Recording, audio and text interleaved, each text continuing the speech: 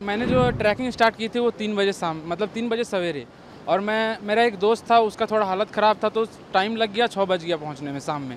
और ये जो लैंडस्लाइड हुई, वो करीब आठ बजे हुई है रात में, आठ से नौ बजे के करीब। तभी हम लोग मतलब आरती हो रही थी तो हम लोग सोचे आरती हो रहा है तो पहुँच जाते हैं जल्दी।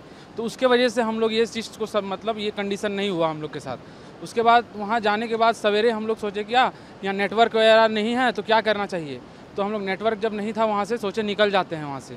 जब वहाँ से निकले तो पता चला कि बहुत सारा पुल टूटा हुआ है लैंडस्लाइड हुई है रात में बादल फट गई है ऐसा ऐसा कंडीशन हो गया सर हमारे साथ वहाँ। एनडीआरएफ और एसडीआरएफ यहाँ काम कर रहे एन सर वो बहुत हेल्प किए हमें स्टार्टिंग से लेके एंड तक।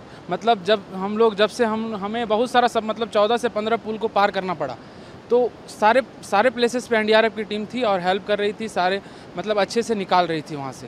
कैसे उस मंजर को याद करेंगे? निश्चित तौर पर मुश्किल होगा और ऊपर अभी भी लोग फंसे हुए हैं क्या कुछ स्थिति है? सर अभी तो मेरे चार दोस्त अभी भी ऊपर हैं। अभी भी लग रहा है कि वो लोग मेरे साथ आ जाए तो बहुत अच्छा ही हो मतलब बहुत अच्छा होगा। उन लोग के गार्जियन हमें कॉल कर रहे हैं। वो बहुत टेंशन में हैं। तो कैसे हम लोग क्या करें वो समझ में नहीं आ रहा है। परिस्थिति उसको याद नहीं कर पा रहे हैं इतना हालत ख़राब है। मेरे जो चार दोस्त ऊपर फंसे हुए हैं उनसे बात हो रही है रेगुलर कि वो मंदिर में ही है और वो सुरक्षित है। तो हम उसको सलाह दे दिए हैं कि भाई आएगा तो हेली से आना। पैदल मत आना सुरक्षित नहीं है।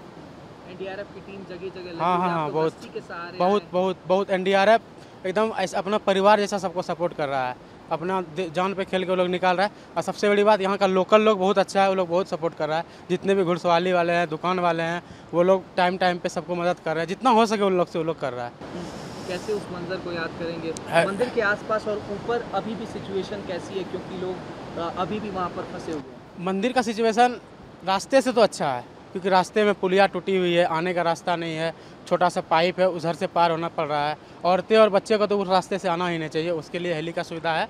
लगातार हेली चल रहा है तो आज नहीं तो कल उनका नंबर आ ही जाएगा तो वो लोग आ जाएँगे नीचे, और कोई बात नहीं है, भोले का कृपा है, सब ठीक हो जाएगा।